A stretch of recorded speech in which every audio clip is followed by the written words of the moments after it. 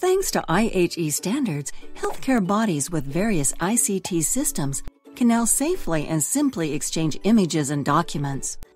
Patients too are playing an increasingly active role, such as Ira Bedingfield. He is 32 years old and has type 1 diabetes. Ira keeps a close eye on his glucose levels.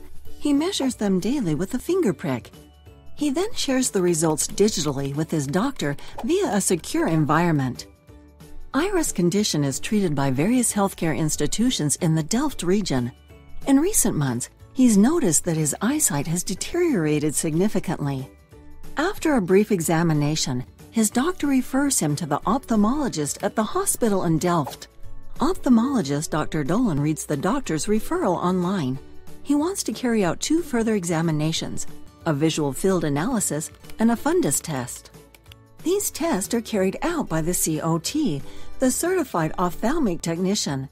The tests are recorded digitally by the COT so other doctors in the hospital can review them. Ira has previously given permission for this. The results of the test are not good. Dolan, the ophthalmologist, refers Ira for an operation to the eye clinic in Rotterdam, which is in a different region. Here, Ira is examined by ophthalmologist Dr. De Vries. He is also given this clinic permission to access his medical dossier. The ophthalmologist can now review Ira's historical medical details, such as recent lab results and fundus photographs and reports. Based on the referral and the medical information supplied, ophthalmologist De Vries decides to opt for laser treatment of the retina of Ira's left eye. Afterwards, she writes a surgery report.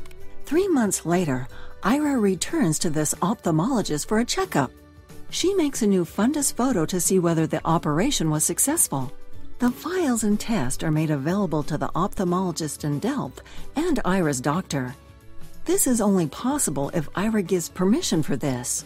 In this case, he uses his smartphone.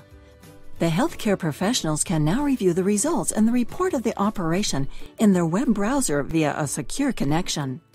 Ira is very happy. The operation was successful, so he can now see much better. Making medical data exchangeable in a safe and clear manner, everyone benefits.